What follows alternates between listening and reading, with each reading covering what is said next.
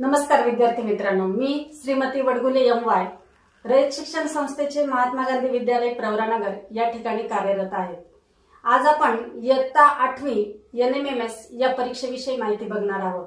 या परीक्षेमध्ये गणित विषयासाठी एकूण वीस प्रश्न विचारले जातात. त्यापैकी सूट व कमिशन या घटकावर एक प्रश्न हमखास विचारला जातो. चला तर मग या घटकाची तयारी करूया. विद्यार्थी मित्रांनो दसरा दिवाळी किंवा पावसाळ्याच्या सुरुवातीला तुम्ही विविध दुकानांमध्ये या प्रकारच्या जाहिराती पाहिल्या असतील. तर दुकानदार आपल्या मालाची जास्तीत जास्त विक्री व्हावी किंवा जुना झालेला माल खपला जावा यासाठी काय करतो? तर सेल लावतो. आणि या सेलमध्ये अगदी दहा टक्के वीस टक्के किंवा अगदी पन्नास टक्क्यापर्यंतची सुद्धा सूट तो देत असतो. तुम्हाला हेही माहिती आहे की ऑनलाईन शॉपिंगमध्ये सुद्धा अशा प्रकारे भरघोस अशी सूट देण्यात येते. तर सूट जी आहे ती सामान्यपणे टक्केवारीमध्ये सांगितली जाते. आणि तेव्हा तिला शेकडा सूट असे म्हणतात. तर या संदर्भामध्ये आपण विविध गोष्टींचा माहिती बघूया. सर्वात प्रथम छापील किंमत. विक्रीच्या वस्तूवर जी किंमत छापण्यात येते तिला छापील किंमत असे म्हणतात. यानंतर विक्री किंमत. प्रत्यक्ष ज्या किमतीला वस्तू विकली जाते त्या किमतीला त्या वस्तूची विक्री किंमत असे म्हणतात. यानंतर सूट. दुकानदार छापील किमतीपेक्षा जेवढी रक्कम कमी घेतो त्या किमतीला सूट असे म्हणतात. तर सूटसाठीचं सूत्र आहे सूट बरोबर छापील किंमत वजा विक्री किंमत. जर विद्यार्थी मित्रांनो विक्री किंमत दिलेली नसेल तर आपल्याला सूट काढण्यासाठीचं हेही सूत्र लक्षात ठेवायचंय. सूट बरोबर छापील किंमत गुणिले शेकडा सूट विद्यार्थी मित्रांनो सूटवरील सूत्र पाहिलं. आता उदाहरण पाहूया.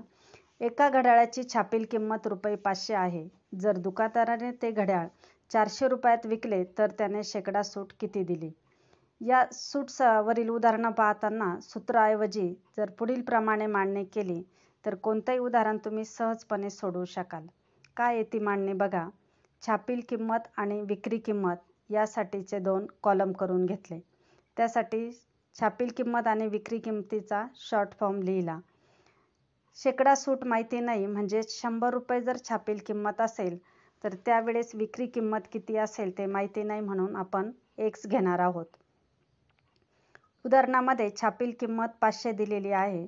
छापील किंमतीच्या कॉलममध्ये पाचशे लिहून घेतले. घड्याळ चारशे रुपयाला विकले म्हणजे चारशे रुपये विक्री किंमत झाली.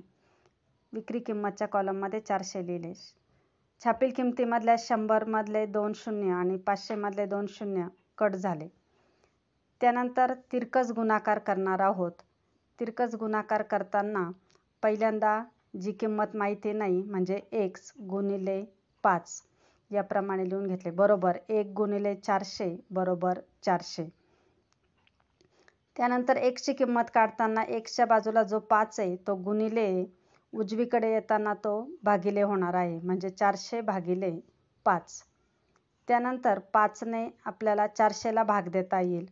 पाच एक पाच आणि पाचा आठे चाळीस. त्यानंतर पुढचा पाचाशी शून्याशी शून्य. म्हणजेच या ठिकाणी एक्सची किंमत जी आहे ती आपल्याला मिळाली आहे ऐंशी रुपये. याचाच अर्थ शंभर रुपये छापील किंमत असेल तर ऐंशी रुपये विक्री किंमत म्हणजेच शेकडा सूट बरोबर शंभर वजा ऐंशी बरोबर शेकडा सूट बरोबर वीस. या उदाहरणामध्ये शेकडा सूट दिली आहे वीस. सूटवरील हे दुसरे उदाहरण पहा. छापील किमतीवर बारा टक्के सूट देऊन एका दुकानदाराने एक कपाट सात हजार चारशे ऐंशी रुपयास विकले. तर त्या कपाटाची छापील किंमत किती? उदाहरण सोडवताना आपण छापील किंमत आणि विक्री किंमत असे दोन कॉलम करून घेणार आहोत. त्यानंतर बारा टक्के सूट याचा अर्थ शंभर रुपये जर छापील किंमत असेल तर बारा वजा केले शंभरमधून बारा गेले अठ्ठ्याऐंशी ही झाली विक्री किंमत. ते विक्री किंमतच्या कॉलममध्ये लिहून घेतले. या उदाहरणामध्ये कपाट सात हजार चारशे ऐंशी रुपयाला विकले. याचा अर्थ ती झाली त्याची विक्री किंमत. ती विक्री किंमतच्या कॉलममध्ये लिहून घेतली. छापील किंमत माहिती नाही म्हणून आपण छापील किंमतीच्या कॉलममध्ये एक्स घेतले. आता या ठिकाणी कोणत्याही कॉलममधले झिरो कॅन्सल होत नाही आहे त्यामुळे आपण डायरेक्ट तिरकस गुणाकार करणार आहोत. तर एक्स गुणिले अठ्ठ्याऐंशी बरोबर सात हजार चारशे ऐंशी गुणिले शंभर. आता हा गुणाकार करताना आपण शंभरने गुणताना सात हजार चारशे ऐंशीवर पुढे दोन शून्य देऊन घेणार आहोत. त्यानंतर एक्स बरोबर सात लाख अठ्ठेचाळीस हजार हा जो अठ्ठ्याऐंशी गुणिले आहे डावीकडे तो उजवीकडे येताना भागिले अठ्ठ्याऐंशी होणार आहेत. त्यानंतर आपण या अंश आणि छेद या दोघांनाही अकराने भाग देऊ. अठ्ठ्याऐंशीला जर अकराने भाग दिला तर अकरा अठ्ठे अठ्ठ्याऐंशी.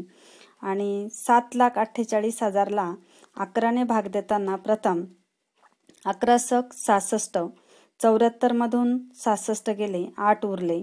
आठाच्या पुढे आठ परत अठ्ठ्याऐंशी अकरा आठे अठ्ठ्याऐंशी आणि पुढचे तीन शून्य देऊन घेतले. म्हणजे आपल्याला या ठिकाणी भागाकार मिळाला अडुसष्ट हजार भागिले आठ.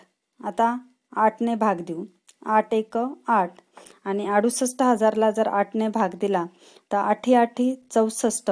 अडुसष्टमधून चौसष्ट गेले चार. पुढचा झिरो घेतला चाळीस.